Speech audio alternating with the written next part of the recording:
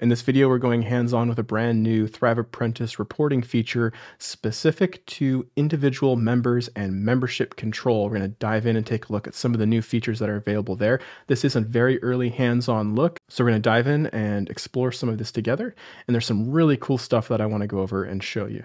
But this video kind of builds upon my previous one. So if you have not yet watched my video all about the Thrive Apprentice reporting update, go watch that one first and then come back to this video.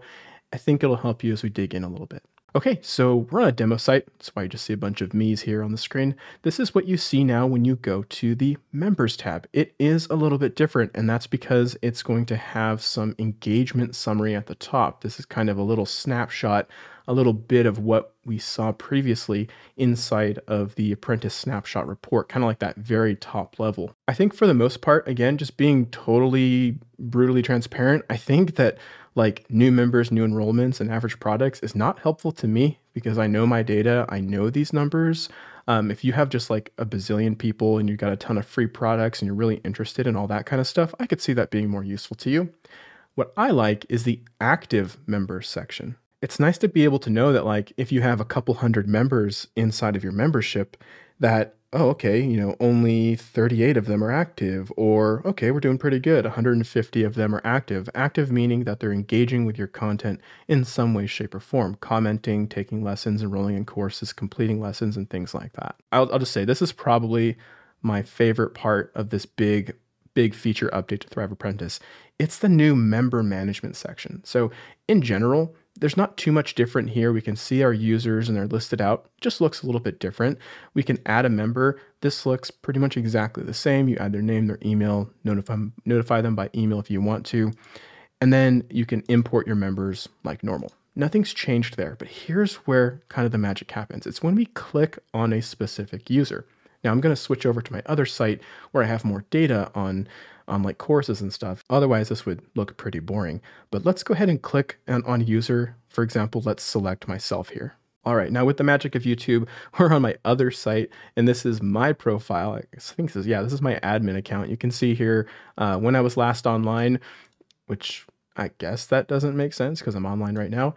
Uh, but when we joined, the email of the user, um, and then we have some of these really cool features here at the top that exist already, or some of them exist already, like viewing the WordPress user account, um, because you know all student accounts are also WordPress accounts. Editing their access rights. So if I click on this, you can see that I can add and remove stuff. That's pretty pretty normal. And then we have our ability to log in as the user, which is I use this all the time. When someone says, "Hey, I don't have access to a course," I'll just log in as them and be like, "Yeah, you do. Here's how you access your course." And then we have the view member report. So we'll come back to that in a second. But I love the way that this looks at a glance, you can see what somebody has access to and you can see a little bit more data about them. So I can see that I when I enrolled in all these courses and I can see the status of the course right here. I have them all unlocked. I can see the progress that I've made in my courses. Man, I'm doing terrible. Look at that. And then I can see when I was last active on those courses. So let's dive in and take a look at some of the member specific data that we have. So first I want to click the member report option here in the upper right. Okay, so when I just arrive at that link, it basically just takes me into the uh, basically the reporting section we looked at before. And what it's done is it's taken us to the course dashboard where we can start looking at course enrollments and things like that. But the one change here is that at the top, we've narrowed it down to just the member uh, to myself. And here we can show all of the exact same data that I showed in the previous video, except it's tailored just to the user that you've drilled down into. So here's uh, an example user and some of their activity over the past uh, little while here. In this particular user, uh, they've completed 47% average course completion. They've made 195 engagements. They've completed 50 lessons. Obviously, they're doing a lot better than I am. And I can kind of see like their lesson drop off rate. So this is just a nice kind of overview of how this particular student is doing. And we could drill down even further. So this is that same student. And now this is for just one of my courses. So we can see here that they skipped lesson one, the course overview. Uh, shame on you. And then they went over and they they did all of these lessons. They skipped one of the lessons.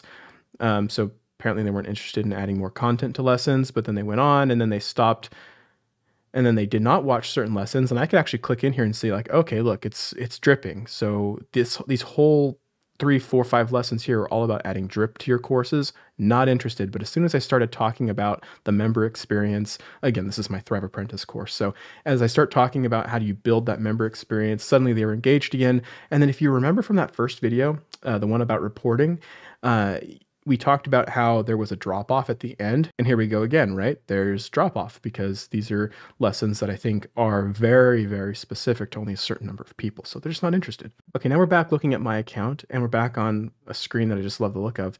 Let's drill down. So we clicked on the view the member report, and that was kind of like our aggregate data all about that user. Now let's drill down and look at specific courses pertaining to this user. So let's look at how I've done in the Thrive Apprentice to Master course.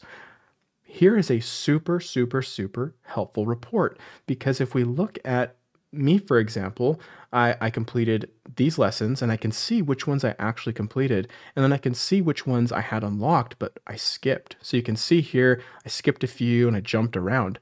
This is really, really helpful because if you have students, and I get this all the time, someone will say to me, Hey, Doug, you didn't cover this in your course. How do I do this? I can jump in here and I'll be able to come back and I'll look at them and I'll say, oh, Doug, it looks like, you know, you said I didn't cover typography, but you, you actually didn't take that lesson. Uh, go back in, it's lesson number whatever. Uh, here's a link. Um, let me know if you have any questions, right?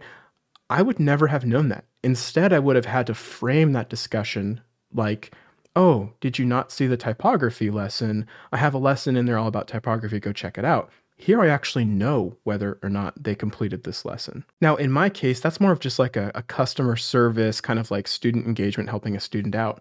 In some cases, this is going to be a lot more, I guess, a lot more regulatory. I guess that's the word. It's basically like if you're in an industry, maybe some kind of continuing education, where you actually need to 100% show that somebody took and completed something, this is really useful. You have proof that they started and completed on a particular date, what they did, what they didn't do, and then you can prove that to them and then to maybe to somebody else. Again, I think this might be my favorite part of member reporting because there's just so much meat here on what you're capable of doing. And I want to show you more of those features, but we won't do it on myself. Let's jump into another user. Okay, so we're looking at just a random user on my site. They're actually taking one of my lead magnet free courses. So in my Thrive Theme Builder Essentials, I, I offer this first big quick start guide. It's like a 30 minute long video. I offer this for free. And so you can see in this particular case, they've unlocked obviously the first module, but they've only unlocked the first lesson in it. Now, there are additional lessons here that are locked, and for this particular user, look what I could do. I could click into a lesson. And let's say that this particular user contacted me and said, Hey, Doug, I love this. I'm thinking of buying. I'm just interested in maybe what one of your lessons is about. I could come in here and instead of having to like break my whole drip setup, break my Thrive Automator unlock automations that I've built for this course when they enroll, that's a lot of work. And it used to be a lot, actually, it used to be almost impossible to grant this user access to just a particular lesson without doing something really hyper technical. But now I just come in, I check the lesson, and I say, you know what? I want to unlock this content for the member. And if I click this button, this lesson will become unlocked. I could also go in and mark a lesson as completed, and I have a lot more control than I used to have. So this is so cool. The ability to interact with and have more of a, I guess, like control's the wrong word, but to just have more ability to manage your students, this just makes so much more sense to me than what we had before. So that wraps up kind of our hands-on look, our first look at the new member management and member analytics inside of Thrive Apprentice. I said this in my previous video and I'll just reiterate, this is the baseline. This is the entry point for a lot of these new features. And if they're starting off this good, I think there's a lot more to come here. Personally, I'm really excited for quiz results, which we know are going to be coming soon. We can tie users taking quizzes in with their profile. And I'm hoping Thrive updates the, the member profiles here that we were looking at to be able to show like Doug completed this quiz. Here's the score that he got. Here's his result. Can you imagine how awesome that would be for kind of a more formal, traditional I guess, learning school environment or someone that was actually doing certificates or things like that. I mean, even for me, where I really don't care what score somebody gets on a quiz because that's really not within my wheelhouse for my courses, but it would be really cool to be able to just see all of that data right there on the dashboard. So I'll wrap this video kind of like I did the last one by saying if this is the entry level, the baseline of where we're starting at, there's a lot of really cool stuff coming to Thrive Apprentice's member management.